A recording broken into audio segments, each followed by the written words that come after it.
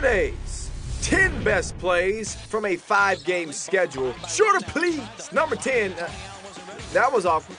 The failed alley oop attempt, but uh, the Grizz make up for it. Tony Allen with the nice swipe there. Number 9, on the countdown, Bucks and Sixers, and it's appropriate that for number 9, we give you number 9.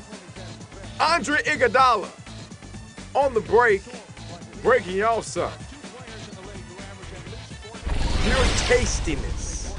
Number eight, always great. And it comes from the Clippers and Thunder. Blake Griffin, he spins, he misses. Don't worry. DeAndre Jordan has got his back. He's a tidy fella. Watch him clean up. Uh huh. Number seven, Bucks and Sixers once again. This is Luke Richard Baamute. Going baseline reverse on you. Number six, Mavs and Warriors. And that is just a uh, an old school player slap by Al Thornton. And on the other end, Dorell Wright. That's just wrong. Pretty basketball in Oakland. Halfway through, at number five, Blake Griffin and company on the run. And that's just that's just easy. I mean, all of the Thunder converge on Blake. I mean, I know he's good, but but that good? All five guys on him? I digress. The countdown continues. Number four, Derrick Rose. Fast don't lie.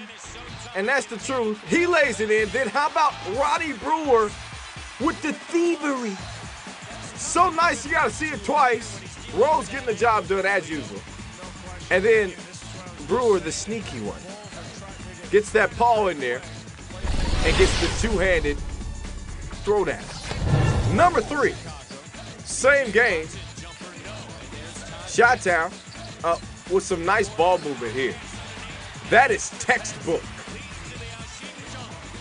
Omer Asik finishing with the exclamation point. Number two on the countdown. OKC and LA. And check out the rook here. Al-Farouq Aminu. The young fella walking across the sky. You really can appreciate it on the replay.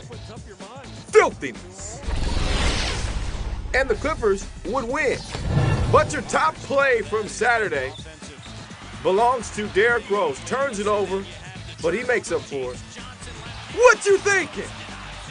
D Rose goes out of his way to reject you, like like the finest girl in school. Just mean for no reason. Your top 10.